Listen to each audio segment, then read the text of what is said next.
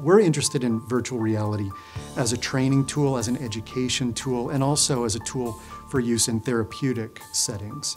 Because in virtual reality, you can control all sorts of factors and variables that are much more difficult to control in the real world. And in this project in particular, we're interested in how the visual depiction of the self in virtual reality um, might be important for learning different kinds of behaviors, um, modeling different kinds of behaviors.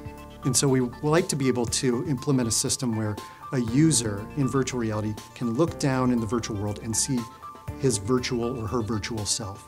So to solve this problem, we try to use multimodal sensors to capture users' body movement dynamically and use uh, motion retargeting technology to animate a 3D avatar in the virtual space to generate a feeling that user can perceive their own body in the VR environment. In particular, we're looking at how we might use virtual reality to model behaviors for children with autism. Children with autism, they are not very good at social communication, so it is really hard to teach them or train them with a certain skill. In VR, we can create a very carefully constructed and controlled environment where individuals with autism might feel more comfortable, they might be more willing and able to engage with virtual others, or even perhaps computer-controlled avatars.